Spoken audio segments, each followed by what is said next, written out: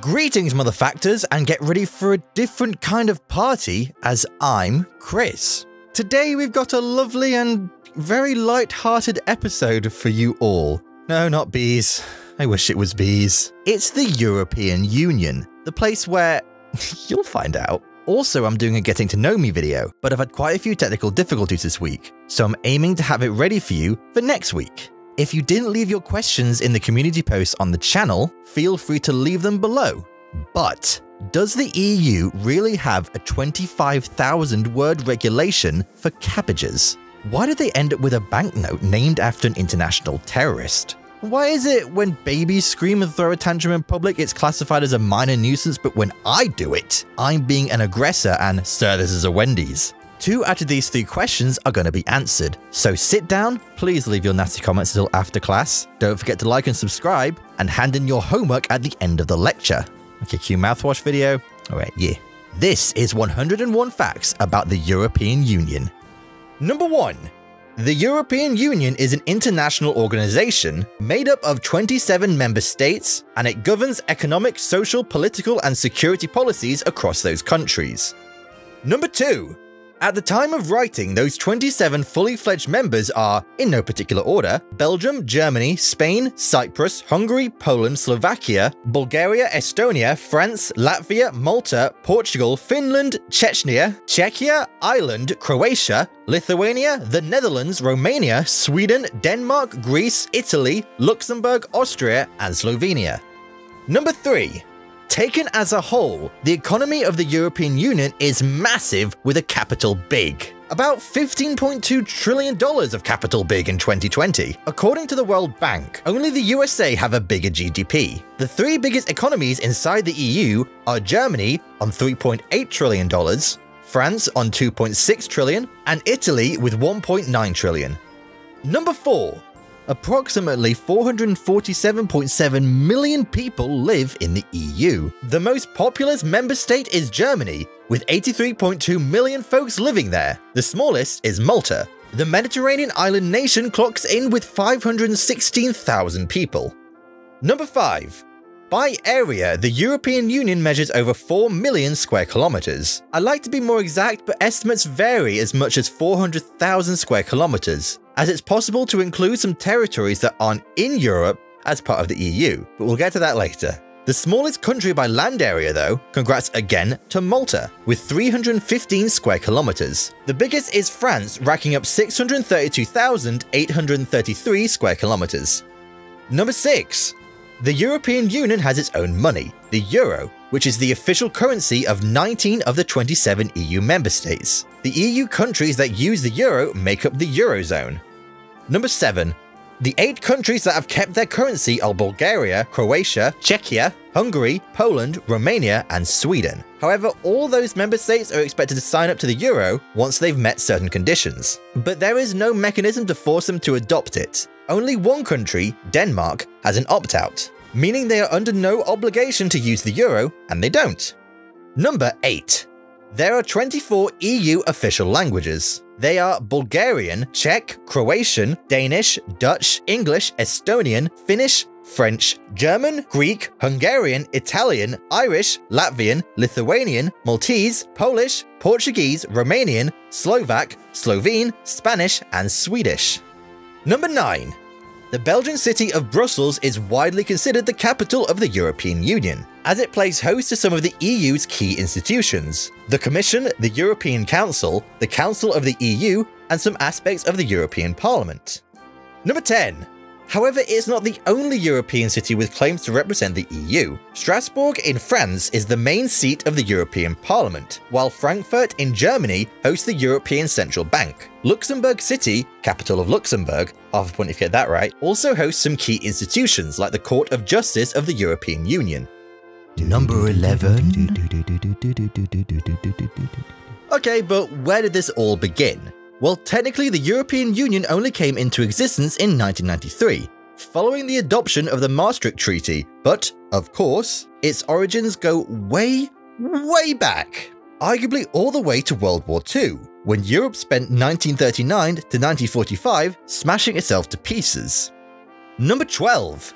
European leaders concluded that maybe European nations should start working together. A certain Mr. Winston Churchill stated in a 1946 speech, We must build a kind of United States of Europe. like to imagine that's what it sounds like. One of the first steps in that direction was the creation of the Council of Europe in 1949. It aimed to promote human rights, the rule of law, and democracy across Europe. Number 13.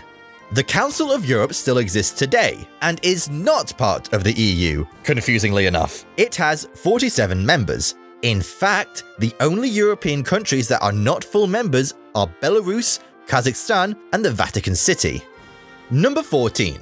Arguably, however, the first real step towards the EU was the creation of the European Coal and Steel Community, first proposed by French Foreign Minister Robert Schuman in 1950. The idea was to integrate the coal and steel industries of Western Europe, creating a common market for those resources and placing them under common regulation. In other words, countries would give up some control over those parts of the economy.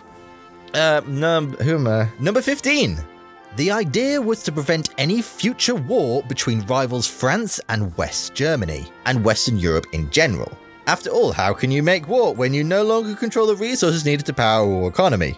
The European Coal and Steel Community, or ECSC, or X as I like to say it, came into effect in 1952 after the signing of the Treaty of Paris. Number 16. The six members who joined were Belgium, France, Italy, Luxembourg, the Netherlands, and West Germany. These governments had essentially agreed to hand over regulation for coal, steel, and some other industries to the institutions of the ECSC. This handing over of power by national governments to another authority is called supranationalism. Number 17. And you know what? Those six countries love working together so much, they thought, let's take this relationship to the next level. Let's get to second base. I'm paraphrasing, of course. But in 1957, those six signed up to the Treaties of Rome that deepened their cooperation. Number 18. The two Treaties of Rome created the European Atomic Energy Community, which, uh, kinda like this channel, did exactly what it said on the tin. Euratom, as the cool kids called it, was designed to promote cooperation in atomic energy, enhancing its development and use between the six nations. Number 19. However, the big daddy of the Rome Treaties was the birth of the European Economic Community. The EEC, or EEC as I like to call it, was much closer to the European Union that we know today. It committed the signatories to an ever closer union in the future. More immediately, it created a customs union and a single economic area, removing trade barriers between the six. Number 20. The EEC wasn't just one massive market though. The members also agreed to join common political and economic policies. Agriculture, trade, transport, and later, environmental, social, and industrial policies were also included. Number 21. But who would be running this community? Well, the main institutions that would run the show were the Council of Ministers, the Commission, the Parliamentary Assembly, which later became the European Parliament, and the Court of Justice. But don't worry, politics nerds, we'll get bogged down in the details of those later. I'm Taylor Swift, and I sing 22. Like all great dramas, the EEC needed a rival and it got one in 1960. Enter, presumably to dramatic music, the EFTA, or the European Free Trade Association. This was a different club of European countries that wanted to trade with each other, but didn't want any of the political or social integration the EEC had entered into. Number 23. The founding members of the EFTA were Austria, Denmark, Norway, Portugal, Sweden, Switzerland, and the United Kingdom. These countries were known as the Outer Seven, while the EEC countries were called the Inner Six. Now let the economic battle commence. Number 24. In 1962, the EEC introduced one of its more controversial measures, the Common Agriculture Policy or the CAP, which established the EEC's approach to farming. At its most basic, it subsidized farming to ensure the EEC countries would be able to produce enough food and guarantee supplies, to help improve farming techniques, and to make sure farming provided a good living for those in the sector. Number 25.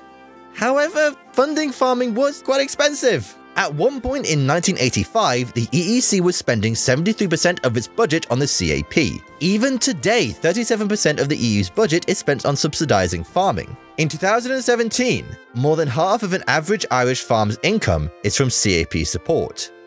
Number 26. The policy has been widely criticised and had ended up creating some nasty consequences. In the 1970s and 1980s, the EEC ended up creating so-called butter mountains and lakes of milk and wine. Not literally, of course, even though that would be pretty cool. But essentially, the EEC would set a minimum price for produce to guarantee that farmers got paid a decent living. But this led to overproduction as farmers cashed in. Then the EEC was left with a lot of produce. Number 27.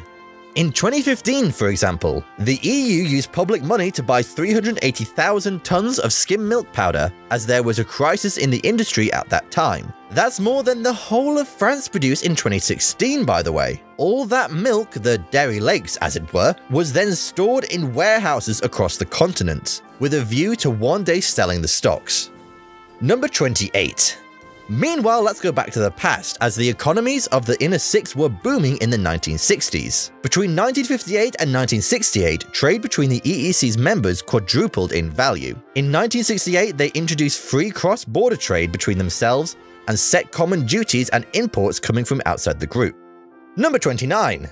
Things were going well, sure, but like all six-way marriages, things can get tense. Arguments could happen, Who's going to do the washing up? Take out the bins, try to stop majority rule. Oh, wait, that last one. It was France. Under the leadership of Charles de Gaulle in 1965, the French boycotted meetings of the Council of Europe, creating, drumroll please, the empty chair crisis.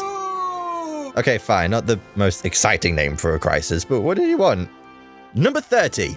The six EEC countries had agreed to start deciding some matters by a system of majority voting, but de Gaulle wasn't happy about this and had French representatives boycott European institutions, leaving chairs empty in those institutions, hence the name of the crisis. The result was that the six member states agreed to disagree and came up with the Luxembourg Compromise, a sort of gentleman's agreement with no legal basis to allow a country to veto something if it was a vital national interest.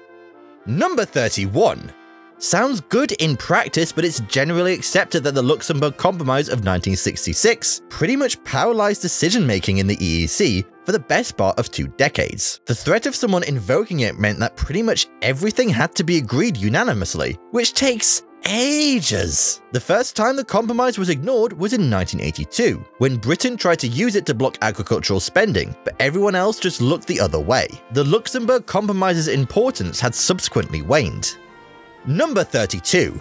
Speaking of the UK, after helping set up the arrival of the EFTA and having turned down the invitations to be involved in the European project, it changed tack and decided to join the EEC, except there was just one problem, and his name was Charles de Gaulle. The French president twice vetoed British applications to join the club in 1963 and 1967. He was concerned that the UK would never be fully committed to Europe and would be more interested in its relationship with the USA. Number 33. However, it was the third time's the charm thing for Britain in 1973, after de Gaulle had left power as it finally joined the three European committees, the EEC, the Euratom, and the Coal and Steel.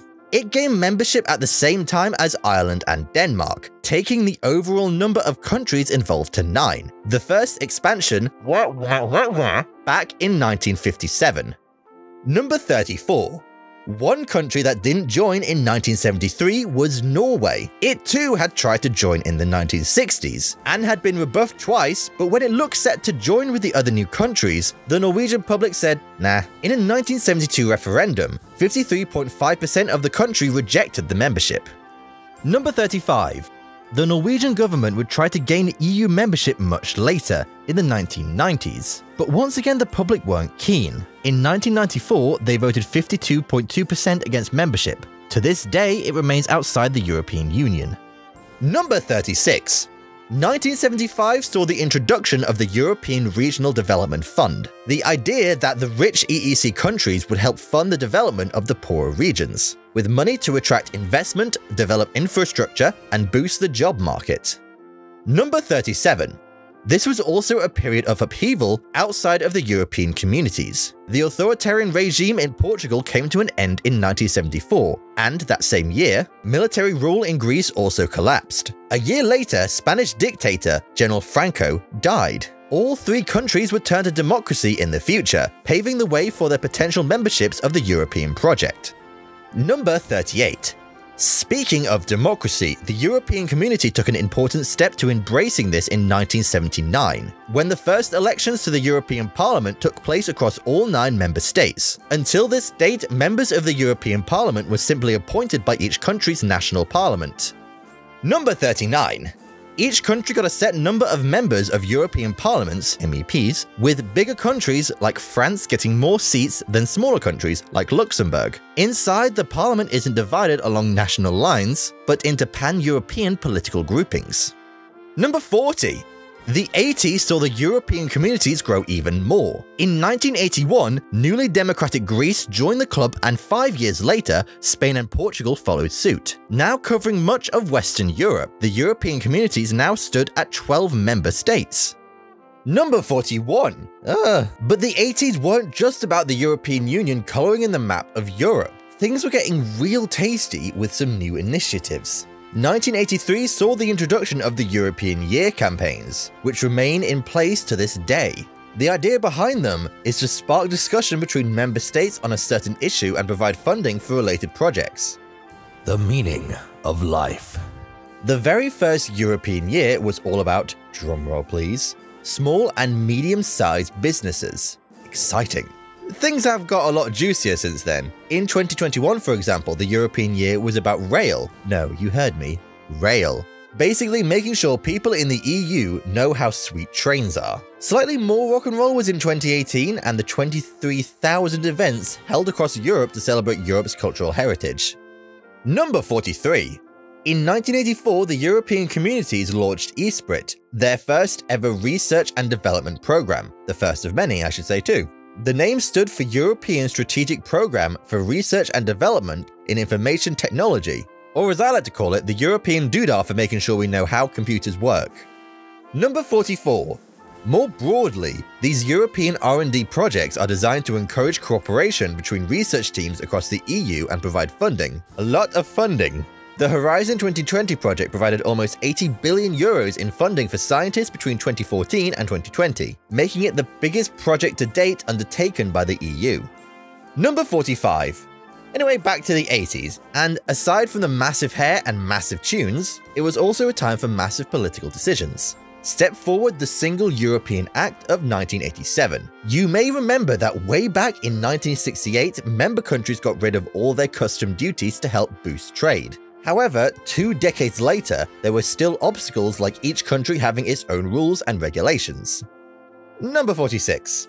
The Single European Act, or SE, to its friends, gave the European community six years to sort out these differences and create a genuine single market between all member states. In effect, there would be no borders allowing goods, services, money, and people to move freely between any countries involved. Number 47. My mom drove a car. The SE also boosted the powers of the European institutions at the expense of national governments. Any laws that were designed to establish the single market, except free movement of people, taxation, and the rights of workers, could now be decided by a majority vote. Things like social, science, and environmental stuff could now be decided by a qualified majority voting. Number 48.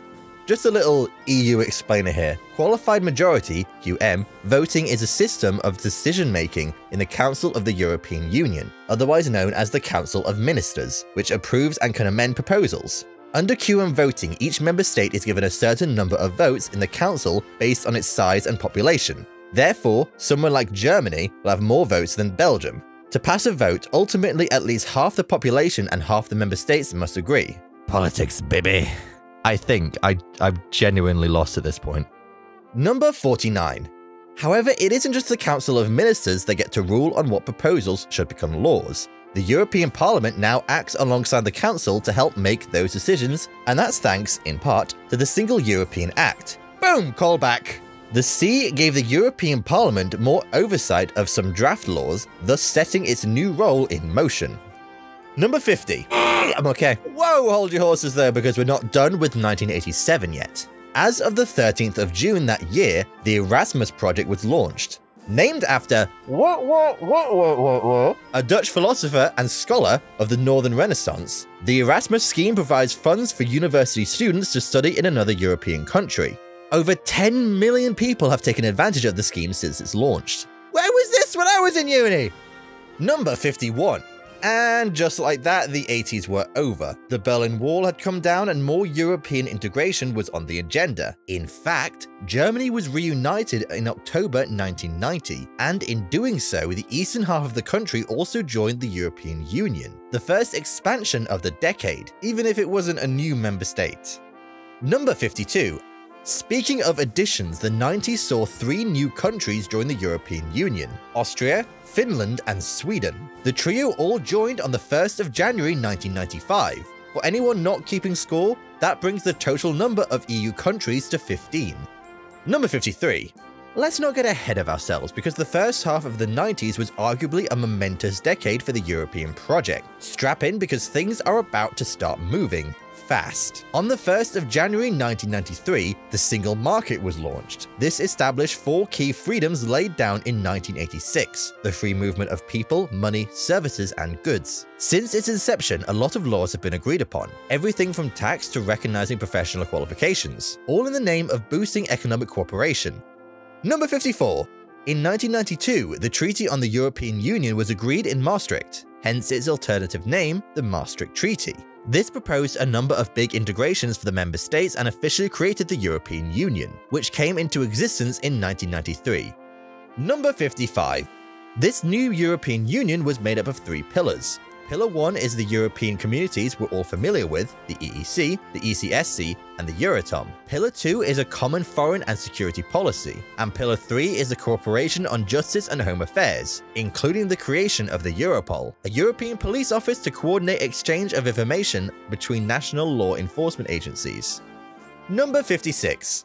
The treaty also established a European citizenship, with any national of an EU country able to move and travel freely to anywhere else in the EU as well as the right to stand as a candidate in the European and local elections in the country they were living in. Number 57. The last important thing stemming from Maastricht was the creation of the euro, a common currency for everyone in the EU to use. For this to work, the treaty committed member states to coordinating their national economic policies, the creation of the European Central Bank and the introduction of a single common currency across the bloc by 1999, this happened on the 1st of January with the introduction of the euro in 11 EU states for commercial and financial transactions. Number 58. Remember that rival to the EU founded back in 1960? You know, the EFTA? Well, that was still going in the 1990s. Only the membership had dwindled to just four countries Iceland, Liechtenstein, Switzerland, and Norway. Three of those, everyone barred Sweden, helped create the European Economic Area in 1994, extending the single market to those countries but without fully joining the EU. Number 59. In 1995, the Schengen Agreement was introduced and takes effect in seven countries Germany, the Netherlands, Belgium, Luxembourg, France, Spain, and Portugal. This agreement allowed people to travel between those countries without any passport controls. The Schengen area is still in force today, and the only EU countries that are not involved today are Ireland, Croatia, Romania, Bulgaria, and Cyprus. Number 60. The 1st of January 2002 saw the proper launch of the euro, with it becoming the legal tender in 12 EU countries. The big kickoff saw 80 billion coins involved, and just so you know, the coins all have one side that is universal, and which shows the value. Each country has its own design on the other side. Number 61. The new millennium saw the European Union welcome more countries than ever before. In 2004, 10 members joined Cyprus, Czechia, Estonia, Hungary, Latvia, Lithuania, Malta, Poland, Slovakia, and Slovenia. That made 25 members, but the EU still had an appetite for more. In 2007, Bulgaria and Romania jumped aboard, and then in 2013, the 28th member, Croatia, joined the club. The EU was officially massive. Number 62 bigger than ever and easier to manage do not normally go hand in hand. So in 2009, the Lisbon Treaty was introduced to make the EU more efficient and transparent, while also increasing its democratic elements. It made the European Parliament, which was elected, remember, and equal to the Council, which featured the representatives of the national governments. Also removed vetoes in areas like climate change and emergency aid, amongst several other things. Number 63. Believe it or not, but the European Union has its own public holiday, Europe Day. It's celebrated every year on the 9th of May, and this marks the anniversary of the Schuman Declaration of 1950, which set in motion the whole shebang by proposing the European coal and steel community. Nintendo 64? The big question is though, do you get a day off for Europe Day? Well, if you're an employee of the EU, then you're in luck. However, the only EU country to have it as a holiday is Luxembourg after their parliament introduced it in 2019. Kosovo, which isn't a member, is the other country that lets people take it easy on Europe Day. Number 65. The flag of the European Union is 12 gold stars on a blue background. The number of stars have nothing to do with the number of member states, and they represent unity, harmony, and solidarity. Why 12? Well, according to the EU website, 12 is the figure of perfection and entirety. The circle arrangement is also a sign of union. Number 66. The flag dates back all the way to 1955 when it was adopted by the Council of Europe, which, remember, isn't an EU organisation. The EEC, the forerunner of the EU, did not actually propose using it until 1983, and it became an official logo for the community in 1985. The flag was first raised outside an EEC building in 1986. Number 67. The EU's motto is United in Diversity, and it first came into use in the year 2000. It celebrates how Europeans have come together as the EU, as well as the different traditions, languages, and cultures that underpin it. Number 68. The European anthem, which was adopted by the EU in 1985, has no words. It's all about the music, baby. So rather than opt for Bonnie Tyler's 1983 hit Total Eclipse of the Heart, or wait for Europe, the band Keep Up, and then 1986 mega hit The Final Countdown, those EU bigwigs opted for Beethoven's Ode to Joy from his Ninth Symphony in 1823. To be fair, it's a solid choice. Number 69. Politics? Question mark? It is highly unlikely the Vatican City will ever be able to join the EU. New members have to be democratic, and the Vatican is a theocracy. Then there is the fact that it doesn't have a market economy. It just doesn't fit the bill. That said, it does use the euro as its currency, and it does allow free movement, although it's not formally part of the Schengen Agreement. Number 70. In fact, there are several countries that do not have membership of the EU but still use the euro. We've got the Vatican City, Monaco, San Marino, and Andorra. These countries even have the right to strike their own designs for the euro coins, but not notes. Kosovo and Montenegro also use the currency, but don't have a formal agreement with the EU. Number 71. Okay, you all knew this was coming, so let's just calm down and respect everyone's opinions. Cool? Great. So, Brexit. British exit from the European Union. It took place officially on the 31st of January 2020 at 11pm GMT. In doing so, the UK became the first country to leave the EU. Number 72. Turns out though, leaving the EU takes a reasonable amount of time, about three and a half years to be precise. The UK held a referendum on whether to leave or remain in the EU in June 2016. The result was 52% in favour of leaving. Number 73. To leave the EU, a country must trigger Article 50 of the Lisbon Treaty, which also lays down the rules on the process for leaving.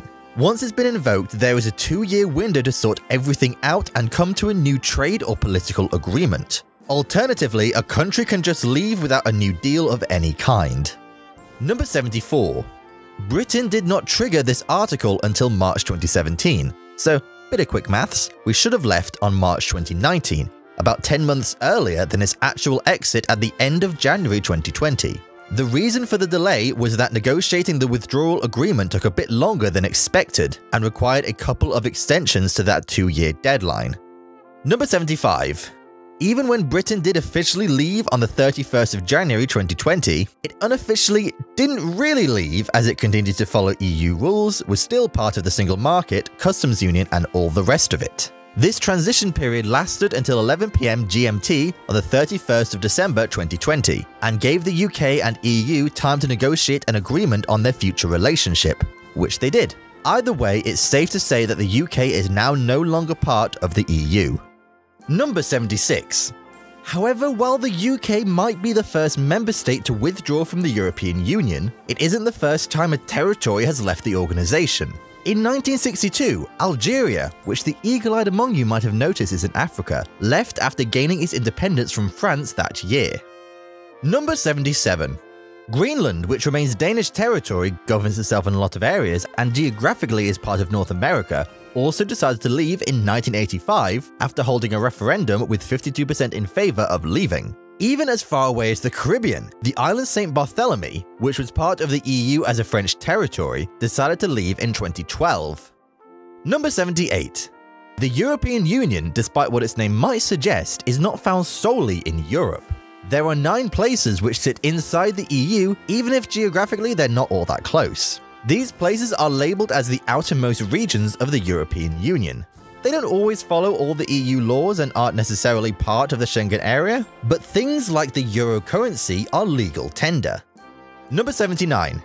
In the Indian Ocean, we have Mayotte and La Réunion. In the North Atlantic, there are the Azores, Madeira, and Canary Islands. Over in the Caribbean, we have Guadeloupe, Martinique, and St. Martin. And finally, measuring at 83,500 square kilometers, is French Guiana in South America. All of these wonderful places that I definitely said wrong are part of the EU. Number 80. At the time of writing, no country has ever decided to join the Eurozone, the part of the EU that uses the euro as currency, and then leave. Although Greece came very close in 2015, leading to the term Grexit. The Greek economy was badly hit by the financial crises that hit the world economy from 2008 onwards, and it ended up racking up a lot of debt. Number 81. In order to get Greece to pay out the money it owed, it needed bailout loans to be approved from institutions like European Central Bank, EU member states, and the International Monetary Fund. Those loans came with conditions. Tax rises, budget cuts, you get the drift. And in 2015, the Greek population voted 61% against a key bailout designed to save the Greek economy and keep the Eurozone intact. Number 82. Ultimately, the Greek government did negotiate another bailout later in 2015 that kept them in the Eurozone. Had they left it, it is likely that they would have started using the drachma again, and there were fears that other countries might decide to leave the euro in the future. Number 83. Imagine trying to get into a club for more than 30 years and still being in the queue today. You've just imagined Turkey's application to join the European Union, which officially started all the way back in 1987 and is no way near complete. Turkey has been involved in European integration since 1959 and has an association agreement with the EU, which was agreed in 1963, but it still isn't a full member. Number 84. Discussions on it joining the EU began properly in 2005 but it's fair to say these aren't moving quickly. Before Turkey can join, it needs to sort out 35 so-called negotiation chapters. These cover areas ranging from science and tech to transport and fishing. Of those 35, only 16 chapters have been opened. According to the Organization for World Peace, the application is basically frozen. Number 85. Other prospective EU members include Albania, the Republic of North Macedonia, Montenegro, and Serbia. Bosnia and Herzegovina are also in the process of becoming a candidate for EU expansion. Number 86. Now, I promised we'd run through how the EU actually works, but this isn't 1001 facts. am I right? Yes, I am right. So let's kick off with the European Council, as this one is super easy to explain. Basically, every few months, the leaders, the heads of state or government, of each member state meet up and decide the key priorities for the EU. Agreements are generally reached unanimously. Number 87. Moving on to the snappily named Council of the European Union, here ministers from each member state work together to help make laws, adopt EU budget, and decide on the EU's external relations. The ministerial meetings are done by subject, so the finance ministers from each member state work together, energy ministers work with other energy ministers, you get the idea. Most of the decisions are made by majority voting. Number 88. Then we've got the European Parliament. This shares responsibility for drafting and debating laws with the Council of the European Union, and also plays a part in the adoption of long-term EU budgets and approves the EU's annual budget. It also keeps an eye on other EU institutions and ensure EU funds are used correctly. Number 89. Currently, there are 705 MEPs, and these are elected every five years by EU citizens. The Parliament supervises the European Commission, which comes up with proposals for new laws. These are then discussed in 20 committees, which are small groups of MEPs working on a specific area, and finally the laws are put to the entire parliament to decide. Number 90. Then there is the European Commission, which holds the so-called right of initiative. This basically means this group gets to propose new EU laws. No other EU institution is allowed to do this. It also proposes what the EU budget should be, each member state is represented by one commissioner from that country, although the commissioners are there to work for the interests of the EU rather than their country of origin. Number 91. Every political system needs an enforcer, but what happens if one country flouts an EU law or interprets it the wrong way? Well, the EU's equivalent of Judge Trudy is the Court of Justice of the European Union, which sounds like it has significantly less lobsters. Judges from all over member states sit here and interpret the EU's laws and make sure they are following by the countries. States, companies, and individuals can also bring cases to the court too, providing they fall under EU law. Number 92. Having one currency running across 19 member states also requires some coordination, and those Eurozone countries look to the European Central Bank for that. Located in Frankfurt, its job is to ensure the stability of prices across all these countries and make sure the currency's value is protected. Number 93.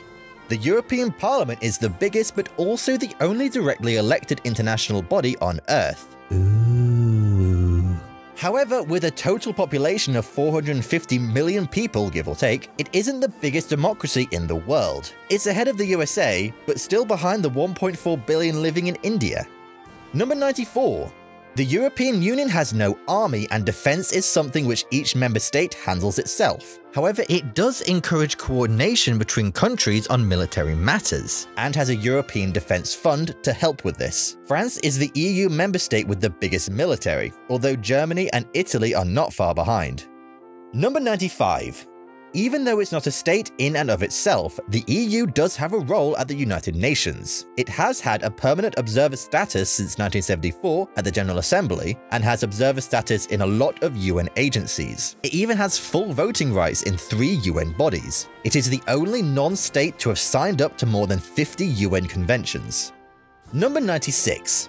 If you look at a euro banknote, you'll see images of bridges, gateways, and windows. When the euro launched in 2002, the European Monetary Institute commissioned those designs, and those lovely images were completely made up. Those bridges didn't even exist. Why? So that no country could be offended at not having their landmarks included on the notes. There would be no national bias. However, in 2011, a Dutch artist went and built the bridges anyway in the Netherlands. All those fake bridges are now real Dutch bridges. Good job, guys. Number 97. The 500 euro note had the nickname the Bin Laden because of its alleged use in financing terrorism. There were also concerns that the massive denomination helped with tax evasion, money laundering, drug smuggling, and human trafficking. The solution? Get rid of the 500 euro note. So the European Central Bank stopped printing new ones and in 2019, national banks of member states stopped recirculating them. They're still accepted by banks but will effectively be phased out over time. Number 98. EU rules recommend that member states adopt a burgundy colour for all passports. This is to make them uniform and ensure quicker border checks, and 26 of the 27 EU states use that colour. The exception to the rule is Croatia, which has kept a dark blue shade for its passports as the burgundy was thought to be too like old red coloured ones used before the collapse of Yugoslavia. Number 99. A Euromyth is the name given to news stories about ridiculous and sometimes fake interpretations of EU laws. The classic example is that the EU banned curved bananas, which they didn't. This comes from a misinterpretation of the EU regulations that say bananas must be free from abnormal curvature. Even then, lower grade bananas are allowed to have defects of shape, so your average banana is not under threat from the EU. Laddies and gentlewomen, it's time for number 100. Another classic Euromyth was that EU regulations on cabbages were 26,911 words long. In fact, the rules on cabbages standards are 1800 words long. Still a lot, but more of a short story than a novel. It's time for 101. In 2012, the EU won the Nobel Peace Prize in recognition for transforming Europe, in the words of the Nobel Committee, from a continent of war to a continent of peace. So that was 101 facts by the European Union. Do you live in an EU classified country? Uh, do you want to? Uh, Are you having like a good day? Let me know in the comments down below. Also, while you're down there, why not give us a like and maybe subscribe and such? That'd be pretty fun. I think you'll enjoy that. I know I'll enjoy you doing that. Also, washow! Check out the two videos on the screen at the moment. One, I think you'll like, and the other, I also think you'll like. Why not watch both at the same time to see what they'll be? I can guarantee you that they probably won't be me talking, they'll be Sam. I haven't got much to add to this, so I'm gonna go. Bye, guys.